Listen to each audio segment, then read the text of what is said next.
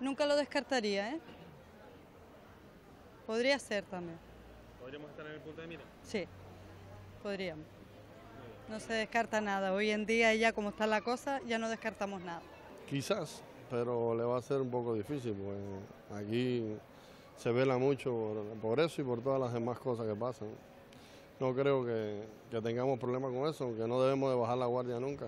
Un día me lo plan, lo sabe, lo, comer, lo comer, conversé con amigos y me, y me rebatearon porque es cierto que no hay un lugar aquí tan amplio como para lo que ellos buscan, ¿no? que es más personas, más tumulto de personas y aquí como es tan pequeño esto pues no hay un lugar, no, no creo, yo me siento aquí bastante seguro.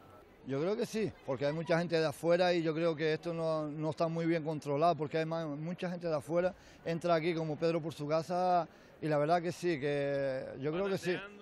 Sí, la verdad que sí, que entra cada uno, ni nadie le dice a dónde va y hay que mirarlo mucho por la tele, la verdad que sí, para mí sí. Hombre, es que por esa parte estamos muy cerca, ¿eh? Estamos a 16 o a 17 kilómetros de, de- No me gusta decir de... pero decir de- del Lismán, de, de- de la zona del Lismán, no me gusta decir Moro, ¿no? Eh, del, del Lismán, estamos muy cerca. Y esto es, para ellos es un paseo, porque hoy veo yo que desde mm, Ceuta Melilla a Algeciras o a Cádiz van en moto, en moto de eso y pasan a dos o tres motos, mm, con más lo, lo cerca que lo tenemos desde el Sahara aquí, ¿no?